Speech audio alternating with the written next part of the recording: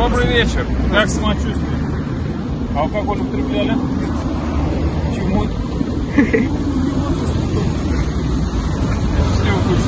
Все новогодние каникулы сотрудники региональной ГИБДД усиленно проверяли водителей, пассажиров и пешеходов на соблюдение ПДД. Массовые проверки прошли как в столице Мордовии, так и в ее районах. За 10 дней операции «Безопасные регионы» нетрезвый водитель инспекторы выявили порядка полутора тысяч нарушений. Некоторые из водителей сначала пытались уехать от экипажей ДПС, а потом убежать, но далеко уйти все равно не вышло. Среди самых распространенных нарушений это выезд на встречную полосу. Несколько десятков водителей были расстанированы, а некоторым пришлось выйти из теплого салона и почистить номера своего авто. Отдельное внимание сотрудники ГИБДД уделили выявлению водителей под шофе. От вождения были отстранены 76 человек, которые сели за руль нетрезвыми. Пятеро из этого числа совершили правонарушение повторно. Теперь их ждет уже уголовная ответственность. Многие автолюбители признаются, что понимают важность таких рейдов. Это поможет спасти жизни и здоровье людей.